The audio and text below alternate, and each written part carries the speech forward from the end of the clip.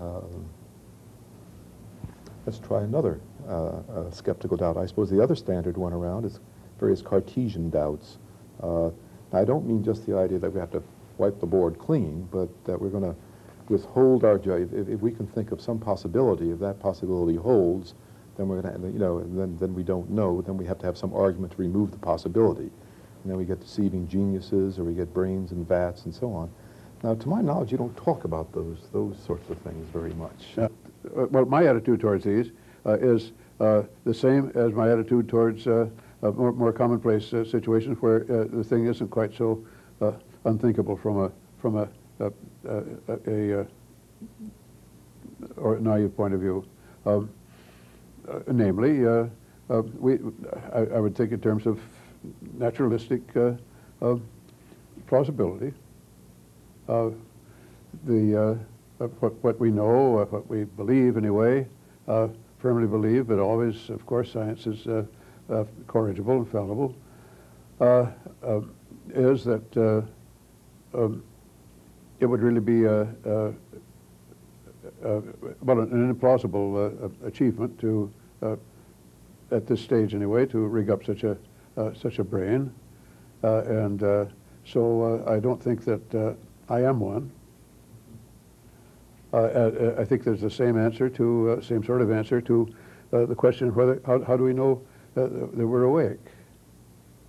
And we have these, uh, uh, these familiar or ordinary ways of being persuaded of that. I mean, the various things that we remember and not running into surprises as, as the day goes on. And I, I wouldn't claim absolute conclusiveness of either, but then I'm not claiming absolute conclusiveness of anything in science. So your strategy is not to not to declare these these problems sort of somehow uh, illegitimate, meaningless, and so on. You No. treat them pretty much the same way you do the ore and the water, namely they are empirical questions. That's it. And they're straightforward empirical answers. Exactly. to them. Yeah. That's very that's very good. Uh, Professor Quine, one way of hearing that reply um, is as saying it's really just massively implausible that these skeptical hypotheses obtain. So the skeptic must surely be proceeding by insisting upon some artificially high standard. I just wondered if we can try running the question again and see uh, whether this response uh, carries over. Think of the way that the uh, skeptical problem is, is raised, uh, for example, by Barry Stroud in his book, The Philosophical Significance of Skepticism, where he tries, I think, to be very naturalistic. That's to say, we observe our actual practice of talking about knowledge, and we find that there are principles there which are perfectly good workaday principles. Yeah, everybody seems to agree that if we're actually dreaming, then um, even if we're fortunate, to come, fortunate enough to come up with true beliefs, uh, they wouldn't count as knowledge on that occasion or wouldn't count as knowledge in virtue of being arrived at on that occasion. So it seems that dreaming is something which does count against um, knowing workaday, workaday uh, propositions like I'm sitting in a chair wearing a green tie holding a clipboard and so on. So the uh, principle which is then suggested is in order to know such workaday facts, I need to be able to rule out the dreaming hypothesis.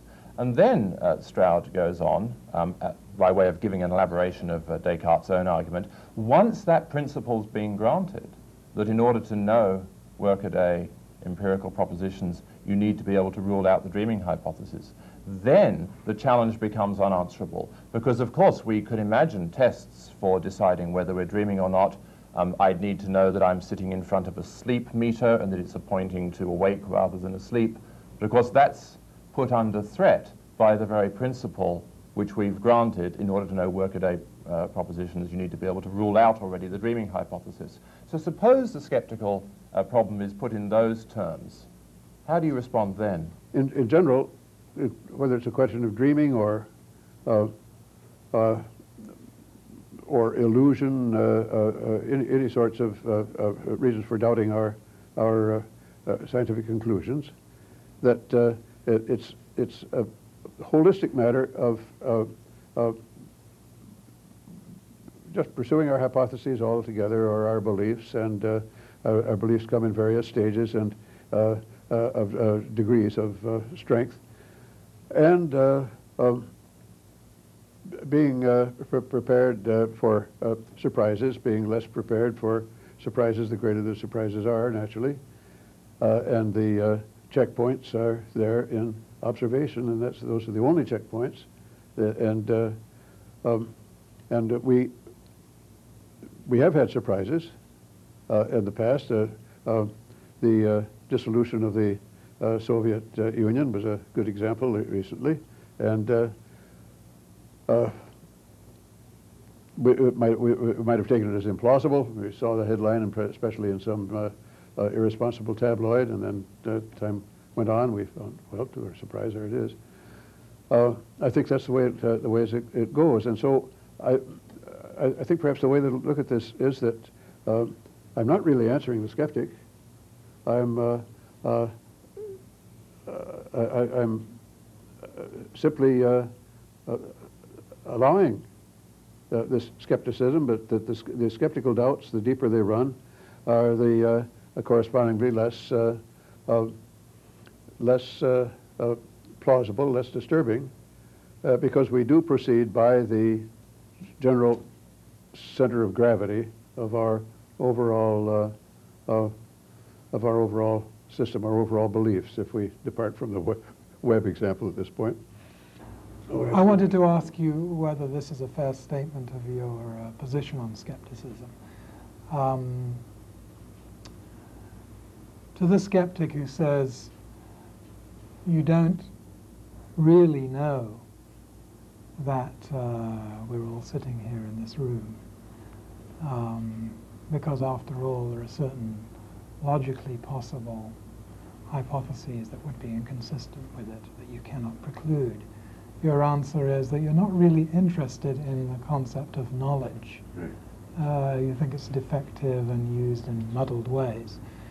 Um, to the skeptic who says, you have no reason to think, you have no reason to be confident that there are people in this room because of such and such a, because of the possibility that we all might be dreaming.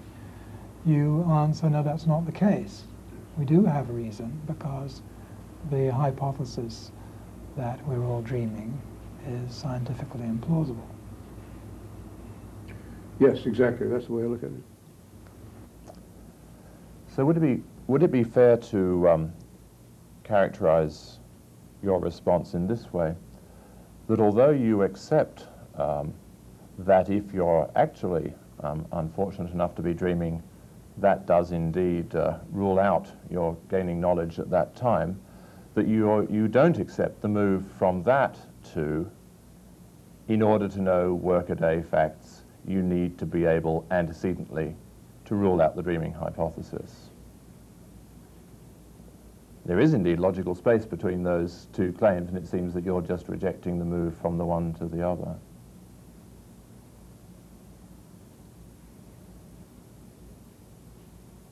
Uh, well, yes, uh, uh, I, I think I should uh, agree to that, that I'm ruling that dream hyp- hypothesis out in the sense that, uh, that I, I dismiss it as, as very unlikely. And I think that's, uh, I think that's the sort of mood in which we uh, do our thinking generally. Uh, the, the, uh, uh, uh, th- there's, there's plenty to worry about in the way of things that could interfere with, the, with our uh, hypotheses and uh, uh, show that uh, we're, we're wrong in them. Um, and uh, we worry about the uh, likeliest ones. It would be Fair to say that uh, your answer is grounded in a kind of theory of inquiry, a theory of knowledge, what it is, what, what honest inquiry looks like. Very good, yes, And, uh, yes, and uh, these doubts simply don't have a place in honest inquiry. Yes. And, um, yes. and if, to the extent that they're raised, they're dismissed almost immediately from, a, from, uh, from, from the rest of the things you know. They're just not. Uh, at some place you talk about, you know, that the, the, the, the genuine doubt, uh, questions don't demand feigned doubt, which I think is important. That in some way, with feigned doubt, this is Yes. not the, this is not the sort of issue that uh, concerns Yes. uh, your kind of project. Yes, and I I like that move to inquiry because, because uh, uh, uh, the no- notion of knowledge uh, uh, does bother me uh, in that uh, uh, uh, it beca- because of its, because of its absoluteness. And uh, I, I, I'd like to think rather in terms of a degree of belief. And we can, we can have a degree of uh, uh, warranted belief, which would be uh, uh,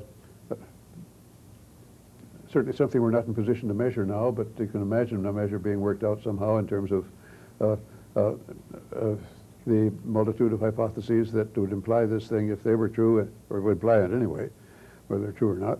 Uh, But uh, uh, the the degree to which they've been uh, uh, more or less c- confirmed indirectly by direct confirmation of other hypotheses that uh, uh, follow from them. Uh, We, uh, we can uh, and do make rough uh, estimates of comparative warrant without having to find it. But I don't think it's uh, indefinable. I think it's just, just vague and unsystematic.